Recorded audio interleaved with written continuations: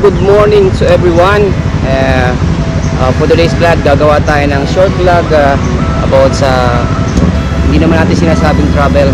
We just having fun and then uh, we just uh, take uh, drone shots and uh, video shots.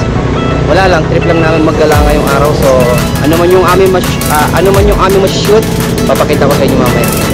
Stay tuned.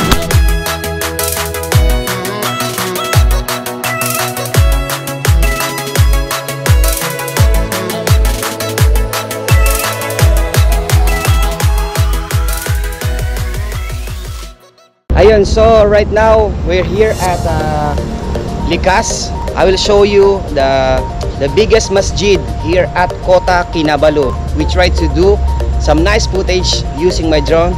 This one, so let's see what we can get and don't go away.